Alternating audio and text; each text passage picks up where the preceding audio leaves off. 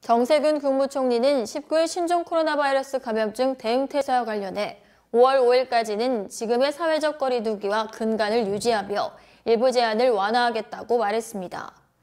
정 총리는 이날 정부 서울청사 영상회의실에서 열린 코로나19 대응 중앙재난안전대책본부 회의에서 방역 측면에서는 고강도 사회적 거리두기를 지속하는 것이 가장 안전하지만 현실적으로 쉽지 않다며 절충점을 찾아야 한다고 이같이 밝혔습니다.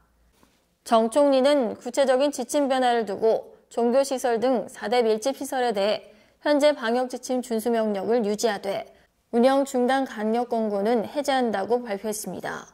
그러면서 자연휴양림 등 위험도가 낮은 실외 공공시설은 준비되는 대로 운영을 재개하고 야외 스포츠도 무관중 경기와 같이 위험도를 낮출 수 있다면 가능할 것이라고 설명했습니다. 아울러 필수적 자격시험, 채용시험 등은 방역 수칙의 철저한 준수를 조건으로 제한적으로 시행하겠다고 밝혔습니다.